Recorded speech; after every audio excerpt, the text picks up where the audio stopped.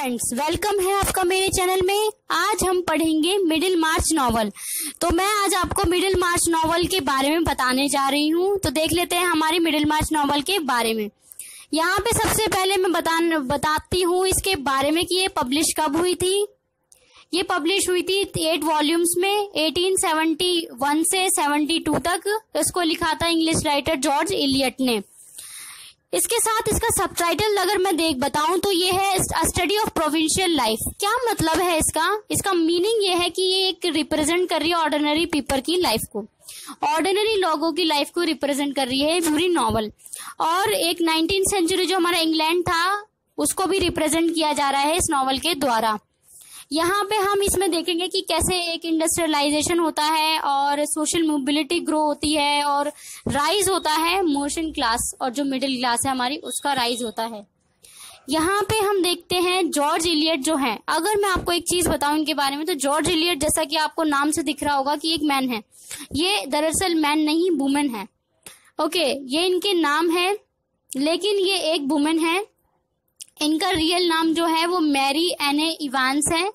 And uh, इन्होंने बहुत सारी फ़ेमस बुक्स लिखी हैं Adam Bede and the Mill on the Floss and Silas Marner okay so George Eliot के द्वारा ये लिखी गई है। नाइनटीन सेंचुरी इंग्लैंड को रिप्रेजेंट कर रही है। और uh, जब जैसे मैं बताऊँ जॉर्ज इलियट जो है ये बेसिकली विक्टोरियन एरा के विक्टोरियन uh, एरा को रिप्रेजेंट करने के लिए जानी जाती हैं।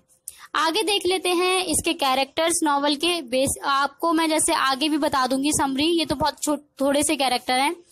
और जैसे जैसे मैं चलूँगी स्टोरी के साथ तो मैं उस टाइम पे आपको बताती हुई जाऊँगी। यहाँ पे डोरोथिया जो मेन कैरेक्टर है एंड रिवर रिवरेंड एडवर्ड जो है, वो मेन कैरेक्टर है एंड टर्टियस भी मेन कैरेक्टर में है। डोरोथिया जो है बहुत इंटेलिजेंट गर्ल है वेल्दी वुमेन है। इनकी शादी होती है रिवरेंड से। एंड टर्टियस जो है ये पेशे से डॉक्टर हैं बहुत इंटेलिजेंट है। ये नए नए आए मिडिल मार्च में और अपने साथ नई नई टेक्नोलॉजीज़ लेके आए हैं एक इलाज करने की और नई टेक्नोलॉजी विद साइंस सो आगे देख लेते हैं कैसे इनके कैरेक्टर प्लेस होते हैं और कैसे हमारी समरी शुरू होती है जो कहानी है मेन वो शुरू होती है। ओके okay, तो बेसिकली कहानी शुरू होती है डोरोथिया से। डोरोथिया जो है, एक 19 ईयर ऑर्फन ऑर्फन गर्ल है।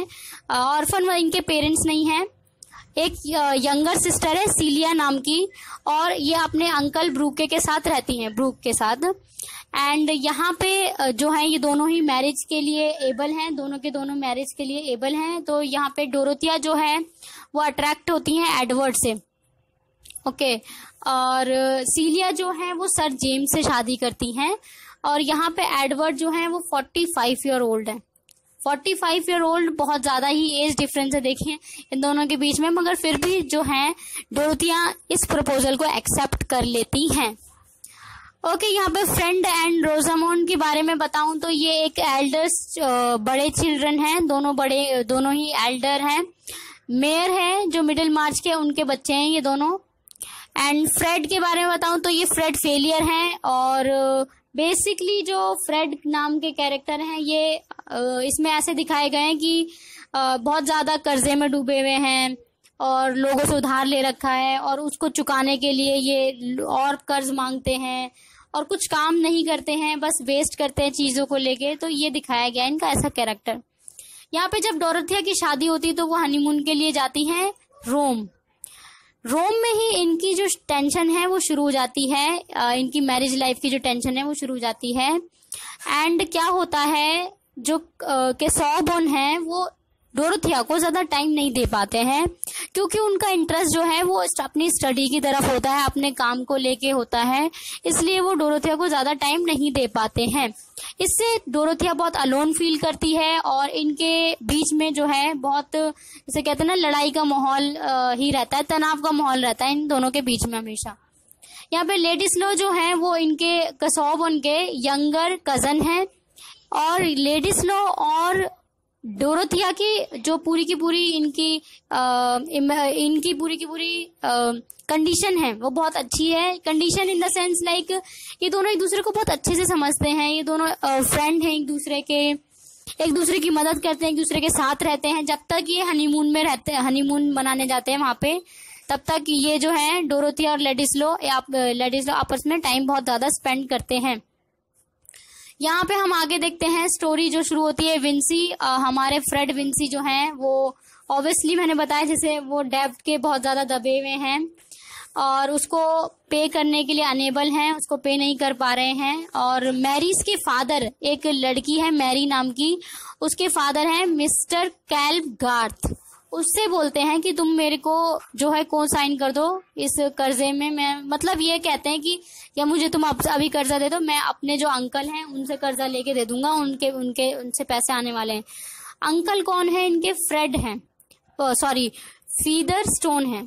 फीदर स्टोन के बारे में बताऊँ तो ये एक ओल्ड है, बहुत ज़्यादा ओल्ड है, अभी बीमार चल रहे हैं, बीमार चल रहे हैं तो फ्रेड को लगता है कि अपनी जो पूरी प्रॉपर्टी है मुझे छोड़ के जाएँगे क्योंकि इनका जो है इलेजिटिमेट एक सन है।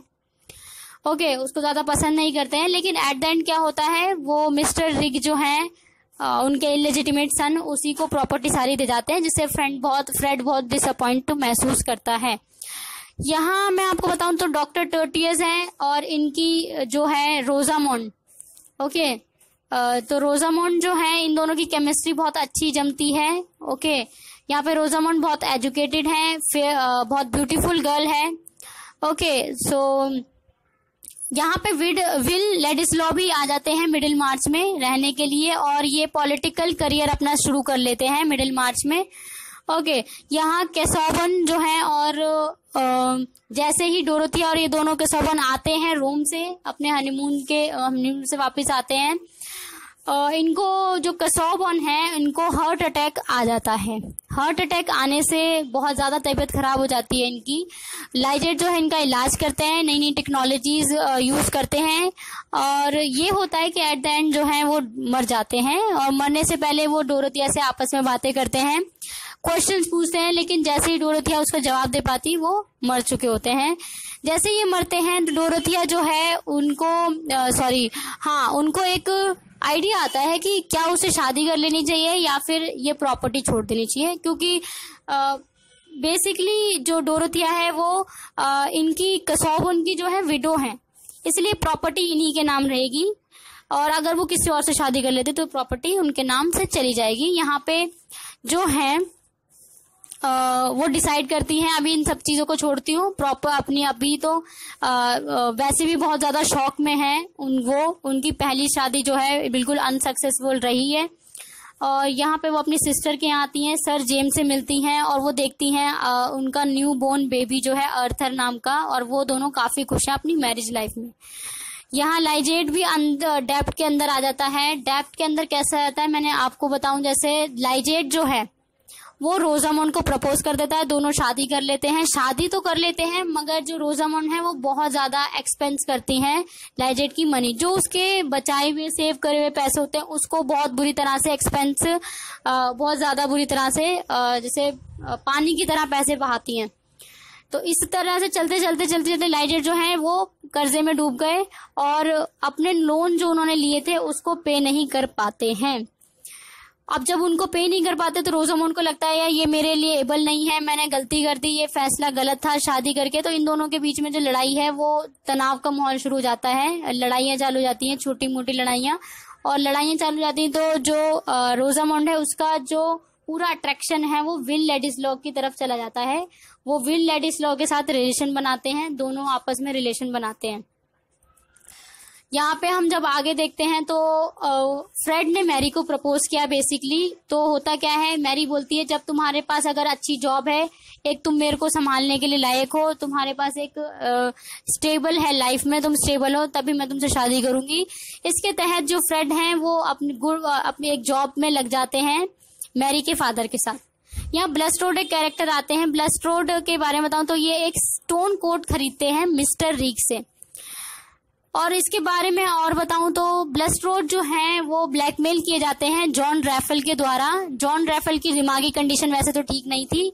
और ब्लैकमेल किए जाते हैं कि जो ब्लस्ट्रोड है, उनका पास अच्छा नहीं रहा था। तो रैफल क्या कहते हैं कि तुमने, तुम्हारा जो पास्ट है, वो मैं जानता हूँ। और अगर तुमने मुझे पैसे नहीं दिए, नहीं तो मैं पूरे मिडिल मार्च में फैला दूँगा। तुम किसी को मुँह दिखाने के काबिल नहीं रहोगे, ये बोलते हैं सारी चीज़ें। तो होता क्या है, ये बहुत फ्रस्ट्रेटेड में आते हैं ब्लस्ट्रोड एक बार घर पे बुलाते हैं रैफिल को और दोनों आपस में ड्रिंक वगैरह करते तो हैं। यहाँ पे राइफल की मौत हो जाती है। अब इसमें नेचुरल कॉज से मौत होती है एल्कोहलिज्म पीने से उनको मौत होती है। लेकिन जो पूरा का पूरा शक है, वो ब्लस्ट रोड पे आता है और यहाँ पे लाइजेट भी मौजूद है। तो जो है पूरा का पूरा शक उसी पे आएगा। यहाँ पे लाइजेट की जबान बंद करने के लिए ब्लस्ट रोड ने उनको ब्राइब के तौर पे लोन दिया। ओके तो यहाँ पे रैफल जो है, इसके बारे में बताऊँ तो इसने दो शादियाँ कर रखी थी। बेसिकली इसने पहली शादी मिस्टर री की मदर से कर रखी थी। और बाद में उनकी, उन्होंने, उनकी मदर ने छोड़ दिया क्योंकि उन्हें पता चल गई थी इसकी सच्चाई। फिर दूसरी आगे शादी उसने विल लेटिस्लो की ग्रैंड मदर से की है। ओके, यहाँ जो विल है वो आ जाता है। विल आ जाता है मतलब यहाँ पे डोरोथिया जो है, वो इन दोनों को पकड़ लेती, विल एंड रोजामुंड को आपस में। और जब वो देखती है, उनको एक बैड कंडीशन में दोनों आपस में काफ़ी ज़्यादा जैसे रिलेशन बना रहे थे तो यहाँ पे डोरोथिया बहुत डिसअपॉइंट होती हैं। एंड बहुत ज़्यादा एंग्री होती हैं। यहाँ पे फिर से उनको ऐसा लगता है कि उनके पास लाइफ में कोई भी नहीं है जस्ट लाइक दैट तो यहाँ पे विल भी बहुत एंग्री होता है क्योंकि वो ये सब नहीं करना चाहता था। लेकिन यहाँ पे रोजामुंड ने जो है उनको अपनी तरफ़ अट्रैक्ट किया। बाद में वो रोजामुंड की तरफ़ आ, कहते हैं उनसे एंग्री होता है कि तुमने ये सारी सिचुएशन क्रिएट की है। और मैं बहुत गिल्ट फील कर रहा हूँ। गिल्ट मतलब क्योंकि रोज जो डोरोथिया है वो बहुत डिसअपॉइंट होती है। और उसको हेट करने लग जाती है विल को। तो यहाँ पे सर जेम्स जो है वो सलाह देते हैं विल को कि देखो तुम यहीं रहो कभी ना कभी तो डोरोथिया को तुम्हारी सच्चाई के बारे में पता चल जाएगा कि तुम सच तुम ठीक हो तुम गलत नहीं हो। और यहाँ पे इस वक्त वो बहुत अकेली है उसको प्रोटेक्शन की ज़रूरत है। तो तुम प्लीज़ यहीं पे रहो। तो इस तरह से वो आपस में बात करते हैं सर जेम्स और आ, विल और यहाँ पे जैसे ही मौत हो जाती है, यहाँ पे ब्लस रोड की स्टोरी शुरू हो जाती है। ब्लस रोड और उसकी मौत हो जाती है, जैसे राफल की तो ये पूरी की पूरी जो स्टोरी है मिडिल मार्च में घूम जाती है। प्लस लोगों को उनके पास्ट के बारे में भी पता चल जाता है और लोगों को, सारों को लगता है कि जो लाइजेट है, उन्होंने भी लोन लिया, उन्होंने लोन की तरह, तौर मतलब एक जैसे एक रिश्वत की तौर पे लोन लिया है। तो यहाँ पे ये पूरी की पूरी स्टोरी शुरू होती है। होता क्या है, यहाँ पे डोरोथिया जो है, और भी बहुत दो तीन लोग हैं, वो ये बिलीव करते हैं कि लाइजेट कभी ऐसा नहीं कर सकते। और कोई ना कोई वजह रही होगी इसको करने के पीछे, और यहाँ पे वो मना लेते हैं लाइजेट को रहने के लिए, लेकिन ब्लस्ट रोड को निकाल दिया जाता है मिडिल मार्च से। और यहाँ पे इसकी वाइफ भी बहुत सॉरी करती है, सबको बहुत अफसोस प्रकट करती है कि मुझे भी इनके पास के बारे में कुछ नहीं पता था, ये ऐसे निकलेंगे जस्ट लाइक दैट बोलती हैं। फ्रेड यहाँ पे है एंड हमारा नॉवल का आता है। फ्रेड जो है वो अपने अच्छे काम में लग जाते हैं मिस्टर गार्थ के साथ और अपनी प्लानिंग करते हैं मैरिज की आ, मैरी के साथ। और दोनों ही काफ़ी अच्छे मतलब पैसे जोड़ रहे हैं और एक अच्छी लाइफ जीने के लिए एक कदम बढ़ाते हैं। यहाँ पे विल जो है वो आता है और डोरोथिया दोनों आपस में ये जो है डिसाइड कर लेते हैं कि शादी करेंगे। अब हम दोनों और डोरोथिया ये डिसाइड करती है कि मुझे प्रॉपर्टी नहीं चाहिए मुझे सिर्फ़ विल चाहिए। उसको पता चल जाता है कि विल की कोई गलती नहीं है। तो ये दोनों डिसाइड करते हैं और वो प्रॉपर्टी छोड़ देती है सारी की सारी किजोबोन की एंड यहाँ पे दोनों मैरिज करके शादी करके लंदन में चले जाते हैं। ओके okay, यहाँ पे विल जो है वो पार्लियामेंट के लिए इलेक्ट हुए जाते होते हैं लंदन की और ये अपनी खुशी खुशी की लाइफ जो है जीते हैं और इनसे दो इनके दो बच्चे होते हैं। तो यहाँ पे यहाँ तक जो है पूरी की पूरी मिडिल मार्च की स्टोरी का एंड हो जाता है हैप्पी एंडिंग से। ओके यहाँ पे मैं इसकी थीम्स के बारे में बताऊँ तो थीम्स मेन है the women question and marriage life obviously marriage life को रिप्रेजेंट कर रही है कैसे कैसे कैरेक्टर्स की मैरिज सक्सेसफुल होती है कैसे अनसक्सेसफुल रहती है। ओके okay, सो so ये था मिडिल मार्च नॉवल के बारे में। बेसिकली इसमें जो बताया जा रहा है वो एक लाइफ है डोरोथिया की, और जो कैरेक्टर है मिडिल मार्च के, उनको दिखाया जा रहा है। So I hope you guys understand this novel and if you like this then share it and